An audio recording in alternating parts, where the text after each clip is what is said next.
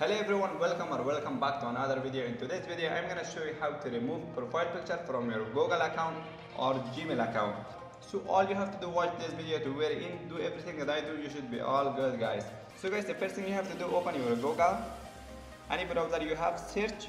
If you are a man, search men profile, profile icon, profile icon.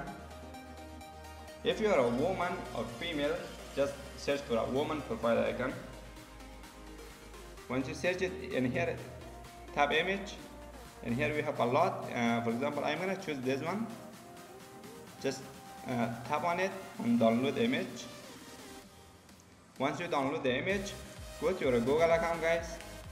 You can go from Chrome or you can go direct. Open your Gmail app, tap on it, if you are not logged in, log to your Gmail account, tap on your profile in the top right corner, then tap Google account. In here tap in personal info. As you guys see in here my profile picture. So you guys tap in your profile picture, then set profile picture. And here you can take a photo, you can choose a photo. I'm gonna choose a photo because I already download the icons. In gallery find your uh, the image or the photos you downloaded. I'm gonna tap on download in here select the download profile icon then tap accept.